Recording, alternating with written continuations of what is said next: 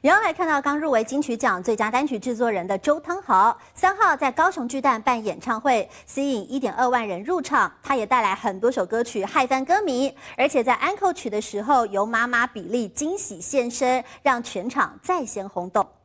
Let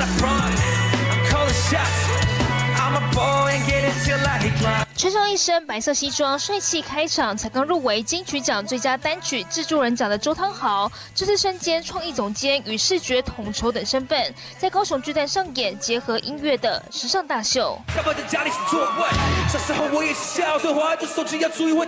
气氛一转，换上了嘻哈装扮，搭配迷幻镭射光，让巨蛋摇身一变成了大型舞池，全场歌迷仿佛置身潮流夜店。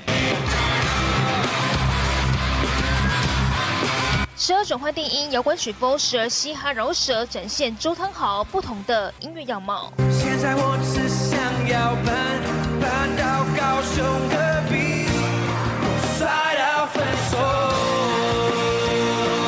周汤豪还特别走向舞台，跟小粉丝来个爱的抱抱，亲切的跟小歌迷合影。